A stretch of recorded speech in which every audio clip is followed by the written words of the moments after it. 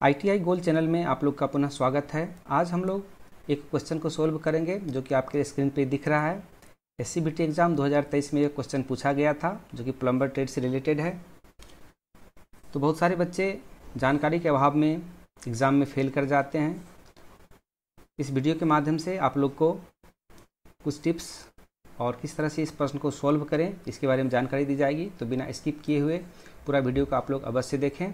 तो चलिए स्टार्ट करते हैं और सीख लेते हैं इस क्वेश्चन का आंसर जैसा कि एक नंबर क्वेश्चन में दिया हुआ है mark the position of appropriate sanitary fitting by their symbol in the house plan shown below मतलब नीचे में ये प्लान दिया हुआ है आपको, इस प्लान में सैनिटरी फिटिंग आप लोग को दिखाना है, जो कि एकदम सिंपल है। यदि आपने बुक्स को पढ़ा होगा, इसके सिंबल के बारे में जानकारी होगी तो बिल्कुल ये 20 नंबर का क्वेश्चन है।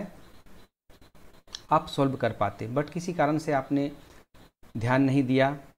साथ ही क्वेश्चन में कह रहा है also draw the separate free hand sketch of the sanitary fitting मतलब इसके साथ यहाँ पे इसको सिंबल को दर्शाना है और साथ में साइड में कहीं पे भी आप इसको फ्री हैंड स्केच बना सकते हैं।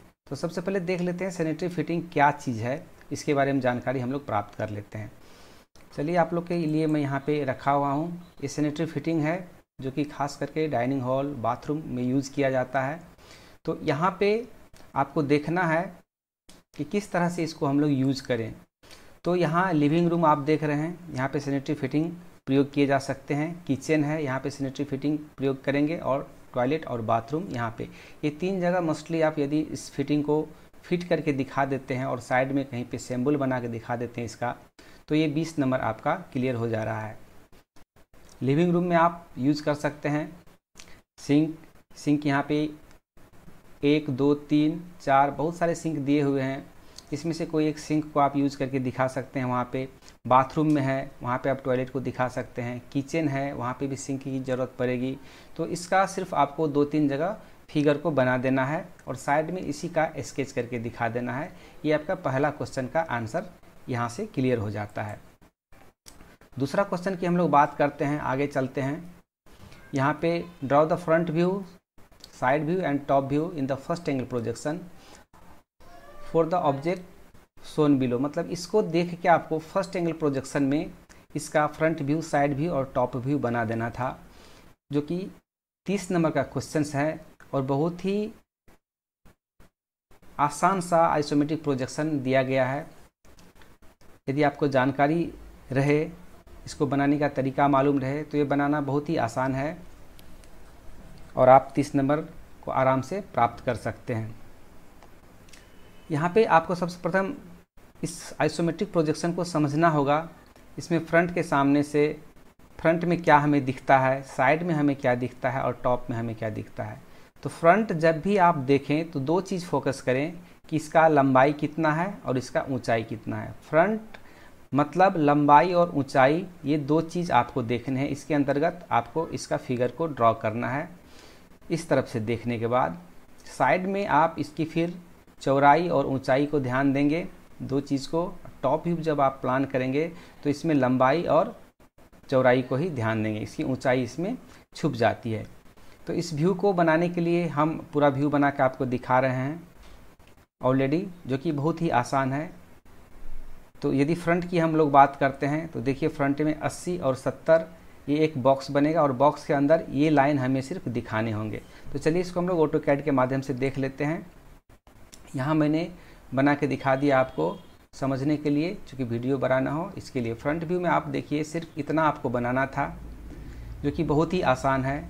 यहाँ पे ये पोजीशन जो आप देख रहे हैं, जहाँ पे मेरा कर्सर है, उसको दिखाने के लिए आप क्वेश्चंस में जाएँगे। तो क्वेश्चन में देखेंगे ये वाला पोर्शन यहाँ पे दिख रहा है।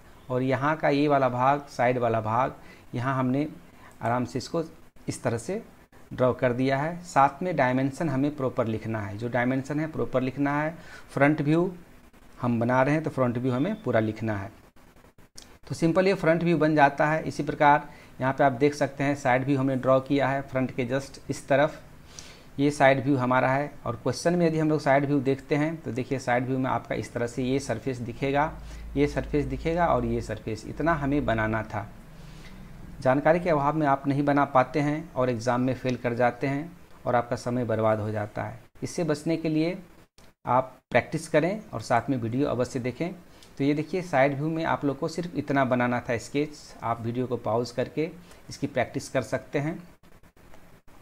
इसी प्रकार आगे हम लोग चलते हैं टॉप व्यू। टॉप व्यू यहाँ पे देख रहे हैं ये वाला ऊपर वाला पोर्शन, ये वाला पोर्शन और ये वाला पोर्शन। ये तीन पोर्शन को आपको देखना है और समझ लेना है। यहाँ पे हमने टॉप बनाया है जो कि ध्यान रहे, हमारा ये फ़र्स्ट एंगल प्रोजेक्शन है तो टॉप हमारा फ्रंट के नीचे आएगा। तो यहाँ पे आप देख सकते हैं टॉप व्यू का डिज़ाइनिंग किस तरह से करना है।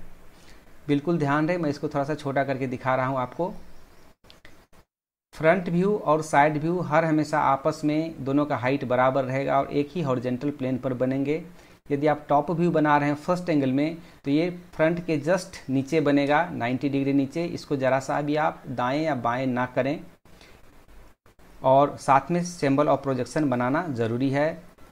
उसके बाद नीचे में आप लिख सकते हैं, नोट्स और डायमेंशंस आर इन एम इतना काम यदि आप करते हैं तो 100 परसेंट आप एग्ज़ाम में अच्छे नंबर से पास करेंगे। मैंने वीडियो बना दिया है आप लोगों को समझने के लिए और आप लोग इसको पाउज करके क्वेश्चन को भी आप ले सकते हैं और साथ में इसको प्रैक्टिस कर सकते हैं।